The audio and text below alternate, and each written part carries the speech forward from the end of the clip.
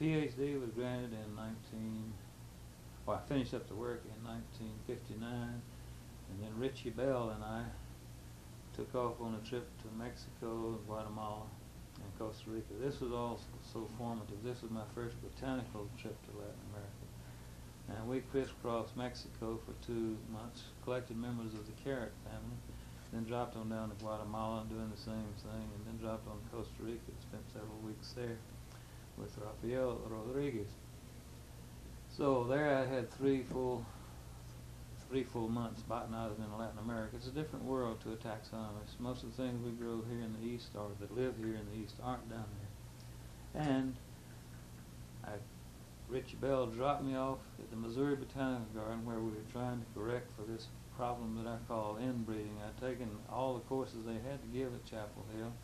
I'd been exposed to several professors, but a very narrow experience. And uh, both Rich and I thought it'd be good if I went to another university for postdoctoral work. So I went to work under Dr.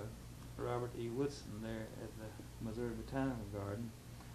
And ironically, he was working on the flora of Panama. And he put me to identifying unknowns that were in the Missouri Botanical Garden that had been collected in Panama. Another very interesting project, he was consulting for Ciba Pharmaceuticals, and they were sponsoring a collection in Peru, and the Peruvians were collectors were sending these medicinal plants back, and I had the very challenging job um, of trying to put names on those specimens. So this is my first experience with medicinal plants in the herbarium, not in the field. But that's what I did uh, for my postdoctoral work with Dr. Woodson, mostly naming plants from Panama and Peru. How long were you at Missouri? I was there uh, from 61 to about 63. I had some various consultancies while I was there and even taught a course in gymnosperms at Washington University there. And uh, then uh, Quentin Jones here at USDA came out to interview me in St. Louis, and the next thing you know, I was coming to USDA in 1963 for a very interesting assignment that got me to Puerto Rico. Here, Latin America crops up again, and there I ended up studying uh, tropical tree seedlings. Turns out that we were doing some experimental work with herbicides in, in, in Puerto Rico, and we were trying to see if these herbicides affected the succession of tropical vegetation. And to determine that, you got to recognize some of these things that are difficult enough to recognize when you got the whole plant. We had to recognize them at this stage. So I did some work on seedlings there. But then something very critical came up. A Richard Davison from Battelle, Columbus, Ohio, started coming to see me and said, "Hey, we may have to do a sea level canal study in Panama. Would you be interested?" and I said, "Don't throw me in the briar patch." I had had a couple of trips to Panama on some of these military consultancies, uh, mostly jungle survival type things or tropical mobility studies. And uh, I was very interested in going to Panama. And Davison came to Beltsville and said, well, you could go as a, a Battelle employee or you could go as a USDA employee. And I made the mistake of going as a Battelle employee because that led to a seven-year hiatus in my government service. But that hiatus moved me and the family to Panama. My boy was three and my little girl was, was six months when we moved lock, stock, and barrel from Beltsville, Maryland to, to Panama. But what a fabulous two and a half years it was. Sponsored by the Atomic Energy Commission, Battelle was supposed to determine what radionuclides might get into the food chain if we excavated a sea level canal with nuclear devices.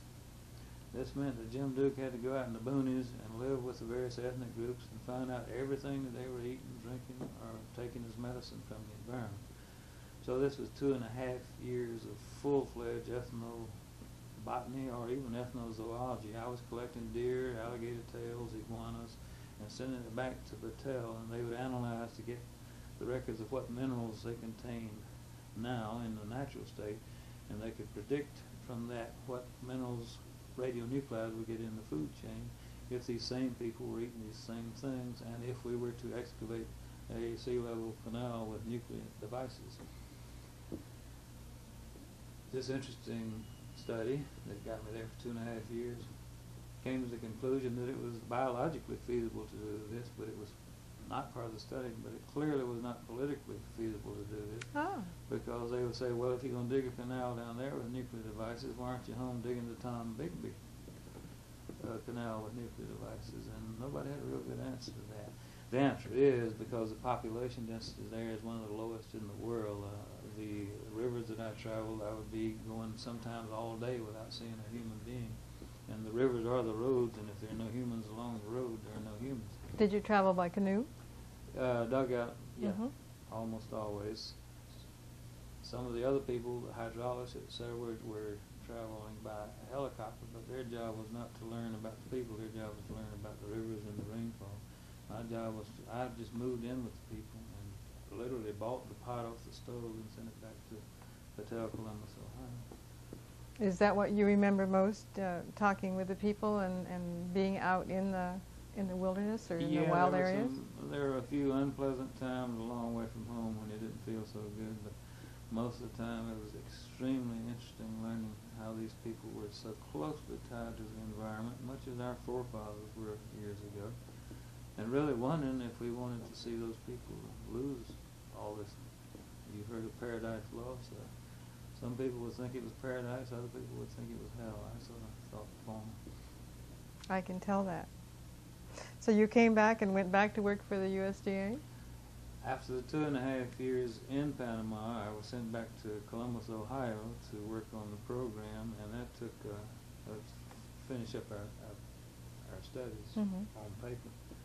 That took a couple of years, and uh, little by little they were aiming me towards Amchitka Island and the North Slope of Alaska, which weren't to my liking. when they said North Slope of Alaska, I called Quentin Jones again, and he was kind enough to take me back after this seven-year hiatus. And in 1971, I, I hightailed it back to the USDA, hoping for another tropical assignment.